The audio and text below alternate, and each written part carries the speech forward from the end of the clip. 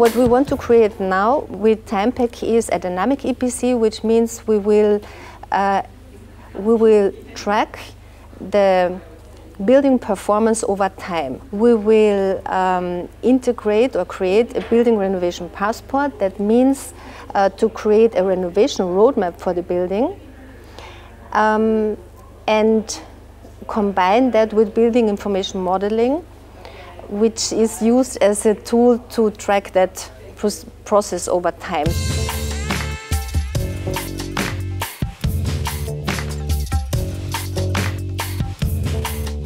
So I think nowadays everybody is um, aware of climate change and people want to know what to do about it. So you can do different things. You can use public transportation. Uh, you buy what you need um, considering the carbon footprint. Um, and of course you can also do things about your house. And um, works on providing uh, procedures how to improve your buildings.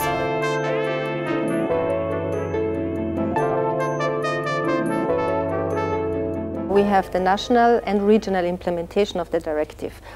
Um, this resulted in many different approaches on the national level, regional levels, but we have also different approaches for existing buildings, new buildings, non-residential buildings, residential buildings. So um, there is a really um, huge range, a high level of complexity, uh, which makes it difficult for the administration, but also for the, for the experts, uh, but especially for the administration, because um, good laws need to be enforced, because we are not interested in a lot of paperwork. Actually, we are interested in implementing energy efficiency in buildings and even going beyond that. So we're talking about the sustainability of buildings. So we also include other aspects, not only energy efficiency, but um, performance of materials and so on.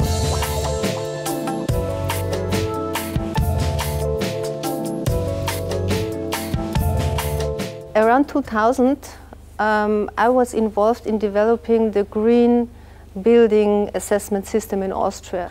And at that time, uh, we were just starting and people were saying, but this is too complex and who will be interested in that? And meanwhile, um, green building assessment is nearly usual practice.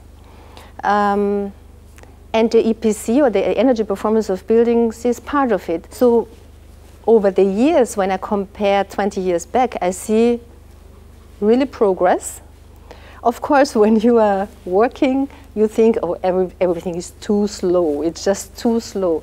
But uh, I think uh, we are on a good, we are, we are on the right track.